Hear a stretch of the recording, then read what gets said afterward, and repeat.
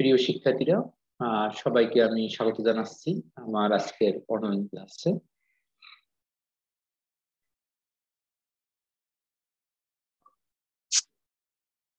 আমি প্রমোদ চন্দ্র সরকার, প্রভাষক সহকারী অধ্যাপক, মনোবিজ্ঞান বিভাগ, রাজশাহী কলেজ, রাজশাহী।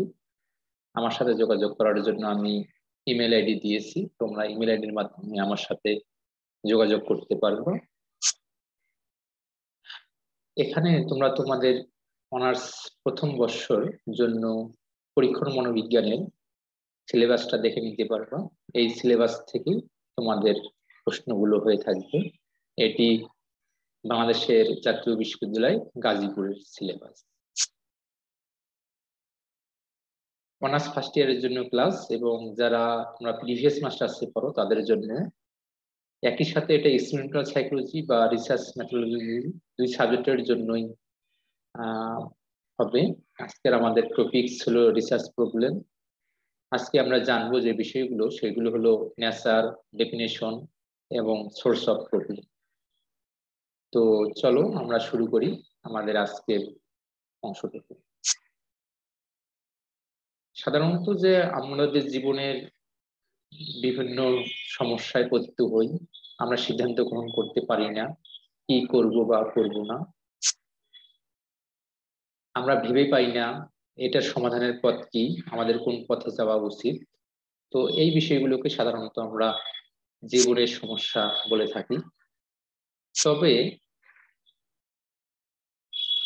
গবেষণার ক্ষেত্রে সমস্যা ভিন্ন রকম। আমাদের জীবনের সমস্যাগুলো গবেষণার সমস্যা হতে পারে। কিন্তু সত্যিকার অর্থে সেগুলো আরও একটু ভিন্ন। সব সমস্যাই অবশ্যই গবেষণার সমস্যা নয়। গবেষণার সমস্যা হওয়ার জন্য অবশ্যই কিছু নিয়ম মেনে চলতে হয়। আমি এখন তোমাদেরকে একটা প্রশ্ন করি, কার মাথায় আপেল পড়েছিল? তোমরা একটু মনে করে দেখো তো। অবশ্যই তোমরা জানো যে কার মাথায় আপেল পড়েছিল। আমরা জানি তিনি হলেন মহাবিজ্ঞানী নিউটন। নিউটন যখন আপেল গাছের নিচে বসেছিল, তার মাথায় আপেল পড়েছিল। দেখো, তোমরা যারা রাজশাহী অঞ্চলে আসছো তোমাদের আমের বাগান আছে, আমের গাছ যেখানে সেখানে আছে, তোমাদের মাথায় আপেল পড়েছিল, কিন্তু এই আপেল পড়া কোনো সময় তোমাদের সমস্যা মনে হয়নি। কিন্তু নিউটনের মাথায় যখন আপেল পড়েছিল, নিউটনের কাছে সমস্যা মনে হয়েছিল এবং নিউটন বলেছিল আপেলটি কেন অন্য দিকে গেল না? চারিদিকে তো ফাঁকা জায়গা আছে, মাটির দিকে আসলো কেন? তো এই প্রশ্নের উপর ভিত্তি করে, এই সমস্যার উপর ভিত্তি করে তিনি হলো চিন্তা করেন, পরবর্তীতে অভিকর্ষ এবং মহাকর্ষ সূত্র আবিষ্কার করেন এবং তিনি পৃথিবীব্যাপী জগৎ বিখ্যাত হয়ে যান। সেই জন্য আজকে তার সূত্রের মাধ্যমে আমরা অনেক কিছু সমাধান করি, অনেক কিছুর ব্যাখ্যা প্রদান করে থাকি। একটা সমস্যা বা একটা কোশ্চেন কি করে তৈরি হয়? একটা তৈরি হয় সেটা ইনকোয়ারি করার জন্য কনসিডারেশন জন্য বা এর সমাধান করার জন্য। একটা যে কোনো প্রশ্ন বা যে কোনো সমস্যা, এটা হলো কিসের সাথে হলো সম্প্রযুক্ত? এটা হলো আমাদের কোনো সন্দেহের সাথে, কোনো অনিশ্চয়তার সাথে বা কোনো জটিল জটিলতার সাথে। এগুলো আমরা সমাধান করতে চাই। এ কোশ্চেন প্রপোজ ফর এটা কিসের জন্য প্রস্তাব করা হয়ে থাকে? সলিউশনের জন্য বা হলো ডিসকাশন করার জন্য। তো a research problem is in general refers to some difficulty তো রেফার্স করা হয় কিছু জটিলতার দিকে। Which a researcher experience in the context of either a theoretical or practical solution for the same তো গবেষক তার অভিজ্ঞতার উপর ভিত্তি করে এর একটা কোনো সমাধান দাঁড় করিয়ে থাকে। এখন দেখা যায় যে কোনো গবেষণা বা আবিষ্কার শুরু হয় কোনো না কোনো সমস্যাকে কেন্দ্র করে। সেই সমস্যাকে ঘিরেই আমরা যে কোনো সমস্যার সমাধান করার চেষ্টা করি। সুতরাং অবশ্যই হলো সমস্যা একটা গবেষণার গুরুত্বপূর্ণ স্থান। সমস্যা যত সুন্দর হবে, ততই এটা সুন্দর সমাধান হবে এবং ততই হলো জনকল্যাণে ব্যয়িত হবে। এখন আমরা জেনে নিব সমস্যার দুই একটি সংজ্ঞা। কার্লিং এর একটা সুন্দর সংজ্ঞা দিয়েছেন। A problem is an interrogative sentence as a statement that asks what relation exist between two or more variable তো এটা আমরা বাংলাটা করতে পারি এভাবে যে সমস্যা হলো তেমন একটা বাক্য বা উক্তি, যা দুই বা ততোধিক চলের মধ্যে সম্পর্ক স্থাপন করে। এখন কোনো গবেষণায় আমরা যদি এই জায়গায় যদি একটু তাকাই, এটা আমরা দেখতে পারি কোনো গবেষণায় নিরপেক্ষ চলের সাথে সাপেক্ষ চলের প্রকৃতি জানাই হলো গবেষণার সমস্যা। তো নিরপেক্ষ চল হলো যে অনির্ভরশীল চল এবং এই সাপেক্ষ চল যেটা, সেটা হলো আমাদের নির্ভরশীল চল।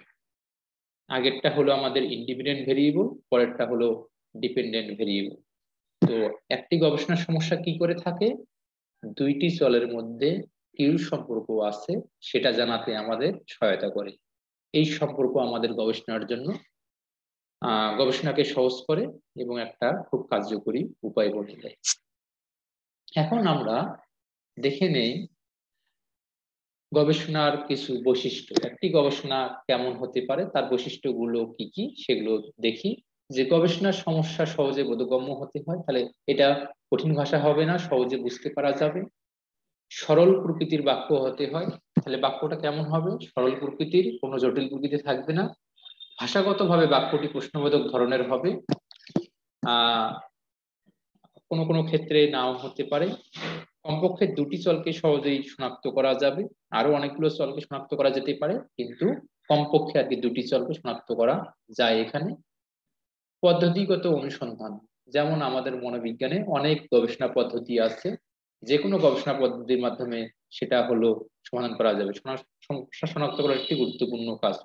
এই জন্যই সমস্যাকে আগে শনাক্তকরণ করতে হবে, তবেই আমরা সমস্যার সমাধান ভালোভাবে করতে পারব। দুটো সমস্যা দেখে নেই why is ethics in Norway so much higher than Bangladesh নরওয়ের ইথিক্স বাংলাদেশের চেয়ে বেশি কেন? এটা একটা সমস্যা। আর একটা সমস্যা দেখে নিতে পারি। Why is productivity in Japan so much higher than in Bangladesh জাপানের উৎপাদন বাংলাদেশের চেয়ে বেশি কেন? এগুলো কিন্তু গবেষণার ক্ষেত্রে সমস্যা হতে পারে। এখন আমরা সমস্যার উৎসগুলো দেখে নিব। এক নজরে যদি দেখি, পূর্ববর্তী গবেষণা, সাহিত্য পর্যালোচনা, প্রাকৃতিক ঘটনাবলী অন্তদর্শন যৌক্তিক চিন্তা, জ্ঞানের অসম্পূর্ণতা পরস্পরবিধি ফলাফল, তথ্যের ব্যাখ্যা। এখন অনেক গবেষক আগে গবেষণা করে রেখেছেন তারা জানালে প্রকাশ করেছেন, আর যে গবেষণা প্রকাশ করেছেন তাকে আমরা আর্টিকেল বলি। যে কোনো গবেষণা করার আগে আমাদের আর্টিকেলগুলো পড়তে হয়। আর্টিকেলগুলো পড়াশোনা করার পর রিসার্চ গ্যাপ বের করতে হয়। তো এই রিসার্চ গ্যাপটা বের করলেই কিন্তু আমাদের রিসার্চ গ্যাপ বের করা মানেই কিন্তু একটা সমস্যা আমরা হাতে পেয়ে গেলাম। সাহিত্য পর্যালোচনা। আমাদের যে সাহিত্যগুলো আছে সেগুলো হতে পারে অথবা গবেষণার উপর ভিত্তি করে যে কোনো প্রবন্ধ বা অন্য কিছু, এমনকি বইও প্রকাশ হতে পারে। সেই সাহিত্যগুলো নিয়ে বইগুলো পড়াশোনা করলেও কিন্তু আমরা গবেষণার সমস্যা পেয়ে যেতে পারি। প্রাকৃতিক ঘটনা বলি। দেখো যে প্রাকৃতিক ঘটনা বলি আমাদের আশেপাশে অনেকগুলো ঘটে যায়। এগুলোর অনেকগুলোর ব্যাখ্যা আমরা জানি না বা অনেকগুলোর ব্যাখ্যা আগে হয়ে গেছে। তার প্রথম একটা উদাহরণ বললাম যে আপেল কেন মাটির দিকে পড়ে, অন্য দিকে কেন যায় না? অথবা আকাশে যখন বিদ্যুৎ চমকায় তার কিছুক্ষণ পরে শব্দ শোনা যায় কেন? আমাদের আশেপাশে আমরা অসংখ্য এরকম প্রাকৃতিক ঘটনাবলী দেখতে পারি। এগুলো কিন্তু আমাদের ক্ষেত্রে সমস্যার একটি উৎস হতে পারে। অন্তদর্শন, আমি যদি এই বিষয়টা বলি যে যারা বিজ্ঞানী আছেন, যারা গবেষণা করেন বিভিন্ন সময়, তাদের কিন্তু মনের ভিতরে অনেক চিন্তা ভাবনা সব সময় থেকে থাকে। তো তারা সেই চিন্তা করতে, করতেও কিন্তু সমস্যা খুঁজে বের করতে পারেন। উদাহরণস্বরূপ আমি বলতে পারি যে তোমরা ফেসবুক জানো, মাত্র অল্প কিছু দুই সালের যাত্রা শুরু। মার্ক জুগারবার্গ কি করছিলেন? অন্তদর্শনের মাধ্যমে বুঝেছিলেন যে ফেসবুক নামে কিছু যদি আমি আবিষ্কার করি, তাহলে কি সবাই একটা করে অ্যাকাউন্ট খুলবে, এটা দেখবে এবং আমার আয় হবে। যদি আমি ঢাকার উবারের কথা বলি, যে উবার কি? ঢাকায় যাই, আমরা হলো ব্যবহার করি। দেখো, উবারের শুধু একটা কি করছে? একটা হলো ওরা অ্যাপস তৈরি করে রেখে দিয়েছে, আর কোনো কিছু না। ড্রাইভার আমাদের দেশের, তারপরে গাড়ি আমাদের দেশের সবকিছুই আমাদের দেশের। কিন্তু ওরা আমাদের দেশের ড্রাইভার যদি একশো টাকা আয় করে, ওরা পঁচিশ টাকা নিয়ে যায়। তাহলে তারা কেমন করে উবার আবিষ্কার করছে? এই অন্তদর্শনের মাধ্যমে উবার আবিষ্কার করেছে। ওরা জানতো যে একদিন মানুষ এটা ব্যবহার করবে। যৌক্তিক চিন্তা, আমরা অনেক ক্ষেত্রে হলে যুক্তিপূর্ণ চিন্তা করতে পারি। আমরা এরকম বলতে পারি, এটা যদি এটা হয়, এটা এটা হতে হবে। ধরলাম পদার্থবিজ্ঞানের যদি কোনো সূত্র মানব জাতির কল্যাণে লাগতে পারে, ওই একই সূত্র কিন্তু মনোবিজ্ঞানের ক্ষেত্রেও আমরা কাজে লাগাতে পারি। তো আমরা বলতেই পারি যে যৌক্তিক যুক্তিপূর্ণভাবে চিন্তা করলে সেই জায়গা থেকেও সমস্যার উৎস তৈরি হতে পারে। জ্ঞানের অসম্পূর্ণতা, তো এক কি হয় যে আমরা সকল বিষয়ে জ্ঞান আহরণ করতে পারি না, পরিপূর্ণ জ্ঞান রাখতেও পারি না। কারণ বর্তমান সময়ে জ্ঞানের অনেকগুলো শাখা প্রশাখা বিদ্যমান। আমি নিজেই হলো খুঁজে দেখেছি মনোবিজ্ঞানের ক্ষেত্রে প্রায় হলো সত্তরটার উপর সাবজেক্ট আছে শুধু মনোবিজ্ঞানী তাহলে ধরে নিলাম এরকম পৃথিবীতে কয়েকশো সাবজেক্ট আছে এবং প্রতিটা সাবজেক্টেরই এরকম একশোটা মতো করে শাখা আছে। তাহলে একটা মানুষ কি সকল বিষয়ে জ্ঞান আহরণ করতে পারবে পারবে না? সেই জন্য যখন কোনো বিষয়ে আমাদের জ্ঞান অসম্পূর্ণ থাকে, আমরা সেই জ্ঞান আরণ আহরণ করতে চাই, সেটাও কিন্তু একটা সমস্যার উৎস। পরস্পর বিরোধী ফলাফল, কোনো গবেষণা করতে গিয়ে বা কোনো কাজ, একই ধরনের কাজ করতে গিয়ে যদি দুইজন দুই রকমের ফলাফল পায়, তাহলে তৃতীয় আর একজন তৃতীয়বার কাজ করার কিন্তু প্রয়োজন পড়ে বা তৃতীয় বিজ্ঞানীর কিন্তু আরেকবার গবেষণা করার প্রয়োজন পড়ে। যদি কোনো ক্ষেত্রে এরকম পরস্পর বিধি ফলাফল আমরা পাই, তাহলে আমরা কিন্তু এটাও ধরে নিতে পারি একটা সমস্যা উৎস। তথ্যের ব্যাখ্যা। তো আমরা আমাদের কিন্তু মনোভাবের বাহিরে, আমাদের দৃষ্টিভঙ্গির বাহিরে যেতে পারি না, যে কোনো কিছুকে কিন্তু আমরা নিজের মতো ব্যাখ্যা করে থাকি। এবং আমাদের মধ্যে যথেষ্ট পরিমাণ প্রিজাজমেন্টও আছে। যখন কোনো কিছু থেকে ব্যাখ্যা করতে গিয়ে দুইজন দুই রকম ভাবে ব্যাখ্যা দিয়ে থাকেন সেটাও কিন্তু আমাদের একটা সমস্যার উৎস হতে পারে। এইগুলো সমস্যার উৎসের বাহিরে আমরা কিছু সমস্যার উৎস দেখতে পাচ্ছি। সেগুলো হলো ব্যক্তি বা জনতা, কর্মসূচি, বিষয় বা ঘটনা মতবাদকে বিশ্লেষণ, প্রযুক্তিগত পরিবর্তন। তো প্রিয় শিক্ষার্থীরা, আজকে আমরা এখানে শেষ করি। সবাইকে আমি ধন্যবাদ জানাচ্ছি।